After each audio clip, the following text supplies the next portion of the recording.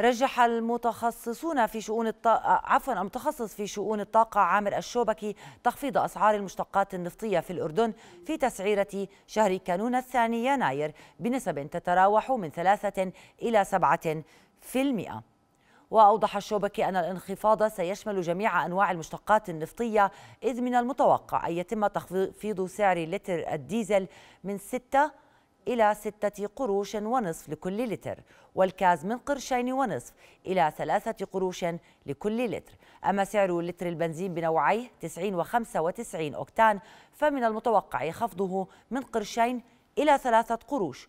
وكانت الحكومة استكملت الضريبة المقطوعة المفروضة على السولر مع بداية كانون الأول ديسمبر الحالي واستكملت الضريبة على البنزين في تشرين الثاني نوفمبر الماضي.